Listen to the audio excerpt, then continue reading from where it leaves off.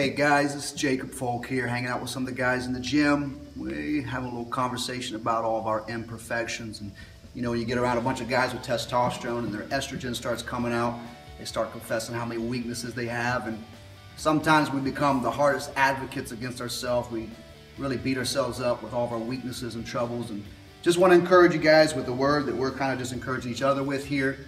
The Bible says in 1 John chapter 7 that if we say that we have no sin, we deceive ourselves and the truth is not in us. So while you're beating yourself up about all the weaknesses you have and trying to be perfect for the Lord, God says that we've all fallen short of the glory of His grace. We've all made mistakes. We've all got issues. We've all got shortcomings. And instead of beating yourself about your shortcomings, be honest with yourself about them and realize that we've all got them. Confess them.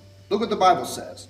The Bible says that if we confess our sins, He is faithful and just to forgive us our sins and to cleanse us from all unrighteousness. We're so busy trying to change ourselves when Jesus Christ is the power that changes us. We need to find His love, receive His love, walk in His love, trust in His love, and allow the perfect work of God's blood and grace to work in us and changes.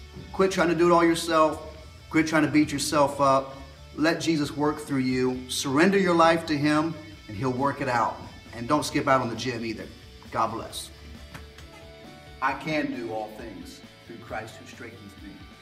Woo! Join us at 2 o'clock on Sundays, and I believe God can do great things to you too.